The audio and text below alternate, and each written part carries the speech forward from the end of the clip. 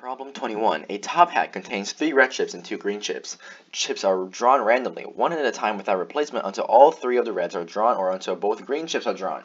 We are trying to find specifically the probability that the three reds are drawn. So, what is the probability in the first place? the probability of anything occurring is equal to the successful number of cases over oh, sorry, successful number of cases over the total number of cases. So in this case, how do we know the number of total cases? Well, the total cases here are the number of ways to draw chips, right? And remember, there are no like specific, um, there are no specific quantity of chips that we must draw. It's just like we can draw, for example, one red chip. But remember, the criteria for the only thing for the criteria is until all three or all two are drawn.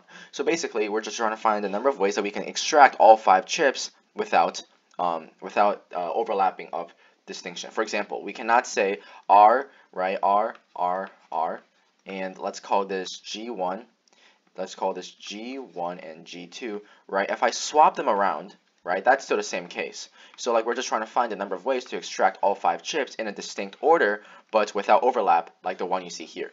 So how do you do that?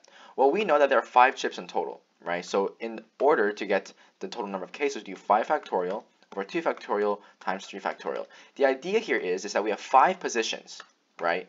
And we have 2. The 2 factorial represents the, the number of places that the green chips can occupy. Let's say the two green chips just so happens to occupy here and here. Now, this green occupancy of G1 and G2 is the same thing if this was G2 and G1.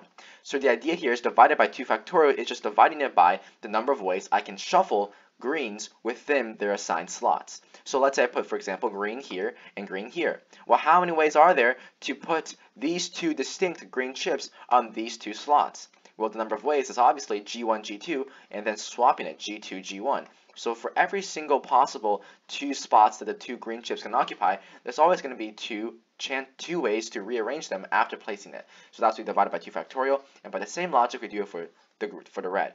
Just for a quick visualiz visualization, we have five slots. We have red 1, we have red 2, we have red 3. Problem is, red like R1, R2, R3 is the same as R3, R2, R1. They're, they're all red chips. It doesn't matter. So how many ways are there to shuffle these three red chips within the three slots that they're given?